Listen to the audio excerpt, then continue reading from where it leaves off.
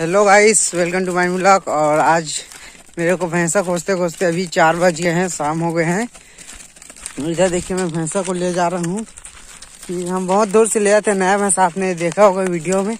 मैं जो नया भैंस लिया था, वो अपने घर चला गया था। बहुत खोजा, उसके बाद वहीं पर आया। फ़ोन नंबर नहीं था उसका। और उसके बाद हमें मिला, उसके बाद देखो मैं घर लेकर हूँ भैंसा को। बहुत धोना दोस्तों, लग बहुत धोना है। गाँव जी, गाँव से भैंस लिया।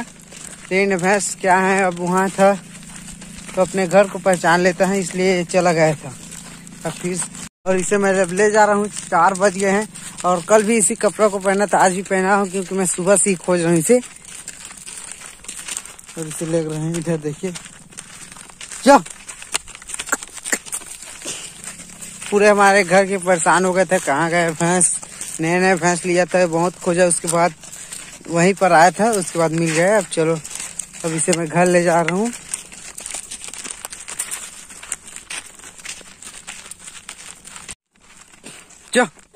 अभी इस भैंसा को मैं घर ले जा रहा हूँ, और अभी से रास्ते से ले जाऊँगा, और बीच में खेत भी पड़ेगा, अब खेत से भी जाना पड़ेगा।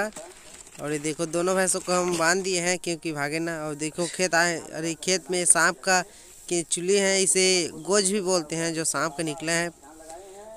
देखो दफरे कितना बड़ा है। और मैं अभी घर जा रहा हूँ और मेरा जो कि गाय भी नहीं आया है अभी, उसको ढूँढने के लिए जाऊँगा।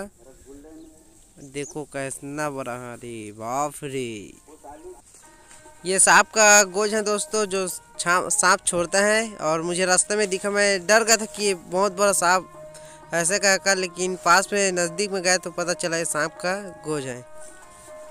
Hello guys welcome to my new blog और अभी आप देख सकते हैं हमारे गाय जो कि हैं, चार पाँच दिनों से नहीं आ रहे हैं हमारे गाय, पता नहीं क्यों नहीं आ रहा तो। इधर देखिए हमारे भैंसा ही बंधा है बस, और गाय तो अभी आ नहीं रहे हैं, चार पाँच दिनों से पता नहीं, बहुत ठंड है बाहर में। इधर देखिए पूरा कोटा खाली है अभी।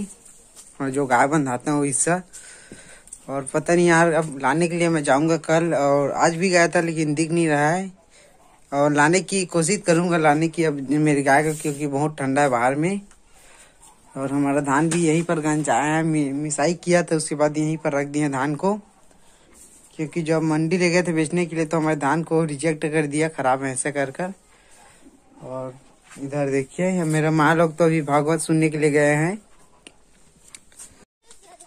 इधर देखिए, बहुत ज़्यादा पपीता फल है। और मैं आप लोगों को दिखलाऊँगा, हमारे बाड़ी में बहुत ज़्यादा पपीता का फल है। दोस्तों, इधर देखना पपीता का फल। इधर देखिए, बहुत ज़्यादा बड़े बड़े पपीता का फल फरा हुआ है। ये देखो, कैसे दिख रहा है? अभी शाम का टाइम है। इसलिए देखो अभी देखो कितना फल है पपीता हमारे जो बाड़ी में।